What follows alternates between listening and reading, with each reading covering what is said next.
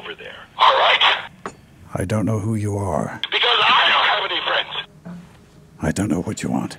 Fuck you, bitch. If you're looking for ransom, I can tell you I don't have money. But what I do have are a very particular set of skills. What? Skills I've acquired over a very long career. What? Skills that make me a nightmare for people like you. Mm, oh, you're all angry now. If you let my daughter go now, that'll be the end of it. You fucking cunt. I will not look for you. I will not pursue You you. make my life so fucking difficult. But if you don't, I will look for you. The I will find you. What? What? I will kill you.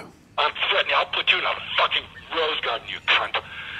You understand that? Because I'm capable of it.